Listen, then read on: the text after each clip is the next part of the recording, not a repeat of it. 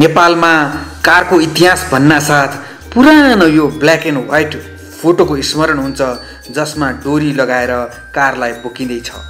यो car Adolf हिटलरले सन् उन्नाइस सय उन्चालिसमा नेपाललाई दिएको मर्सिडिज बेन्ज हो भन्ने मानिन्छ।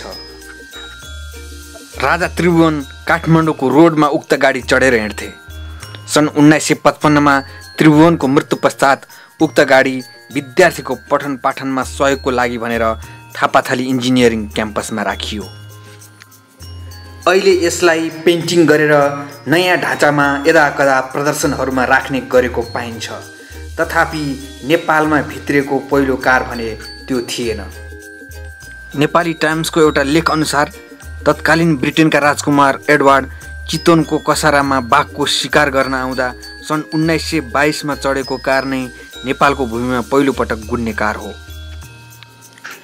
पहिलोपटक नेपालमा कार भित्रिएपछि पनि आम नागरिकले भने झन्डै पचास वर्षसम्म कार खरिद गर्न पाएनन् कारण सर्वसाधारणले कार किन्नु नै गैर कानुनी थियो।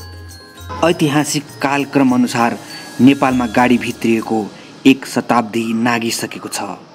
सर्वप्रथम नेपालमा राणा प्रधानमन्त्री चन्द्र शमशेरले आफ्ना लागि चढ्न मोटर झिकाएका थिए भनिन्छ।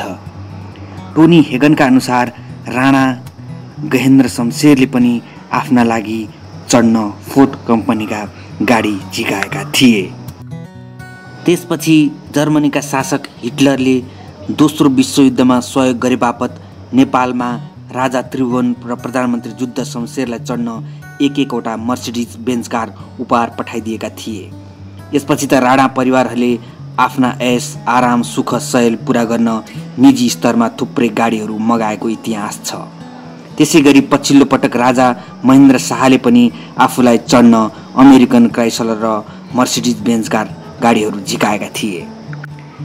यसरी चितलाङ बाटोबाट नेपाल उपत्यका जोड्ने बाटोघाटो नबनिसकेको अवस्थामा आफ्नो विलासिता पुरा गर्न राणा तथा शाह शासक र तिनका परिवारहरूले चार दर्जन गाडीहरू भित्र्याएको इतिहास छ।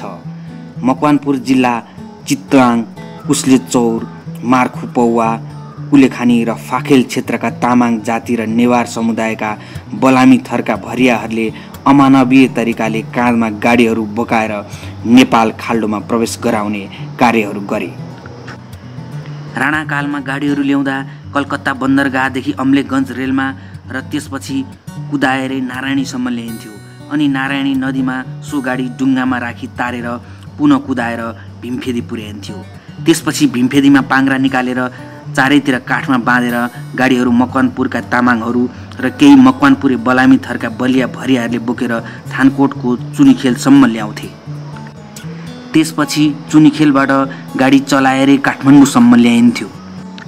तत्कालीन मकवानपुरको सदरमुकाम रहेको भीमफेदीका बलामीहरू कालान्तरमा कृषि र व्यापारमा संलग्न भए तर तामाङहरूले निरन्तर रूपमा गाडी बोक्ने परम्परा नटुङ्ग्याएसम्म नै रहेकोले उनीहरू गाडी बोक्ने ऐतिहासिक भरियाको रूपमा परिचित भए।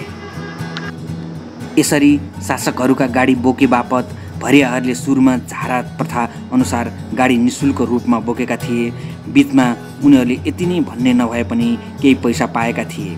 पछि पाँच आनाबाट बढ्दै गएर दैनिक एक रुपियाँसम्म भरिया नाइकेहरूबाट पाएको भरियाहरू बताउँछन् जसमध्ये एक रुपियाँ भरिया नाइकेले कमिसन लिने कुरा समेत उनीहरू बताउँछन्।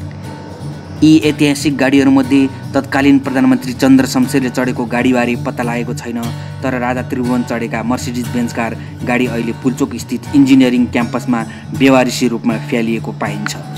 राणा प्रधानमन्त्री जुद्ध शमशेरको गाडी भने उनले सन्यासी महाराज बनी शासन सत्ता त्यागेर पनि आफैसँग आफ्नो गाडी भारत लगेका कारण सो गाडी अझै पनि देहरादुनमा चालु हालतमै भेटिन्छ। राजा महेन्द्रको गाडी भने छाउनी स्थित सङ्ग्रहालयमा देख्न सकिन्छ।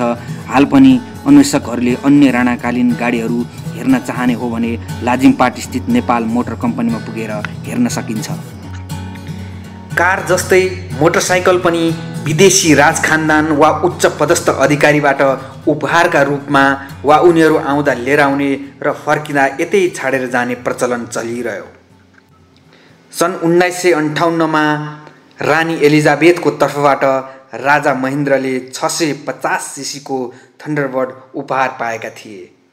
रानी एलिजाबेथले नै सन् उन्नाइस सय एकसट्ठीमा नेपाल आउँदा पहिलो रोल्स रोयस लिएर आएकी थिइन्। यस्ता ऐतिहासिक महत्त्वका भिन्टेज र क्लासिकको श्रेणीमा पर्ने गाडीहरू के कति थिए भनेर खोजबिन गरी तिनलाई सङ्ग्रहालयमा राखी प्रदर्शन गर्ने भन्ने सोच परराष्ट्र मन्त्रालय संस्कृति पर्यटन तथा नागरिक उड्डयन मन्त्रालयलाई अझै आएको देखिँदैन।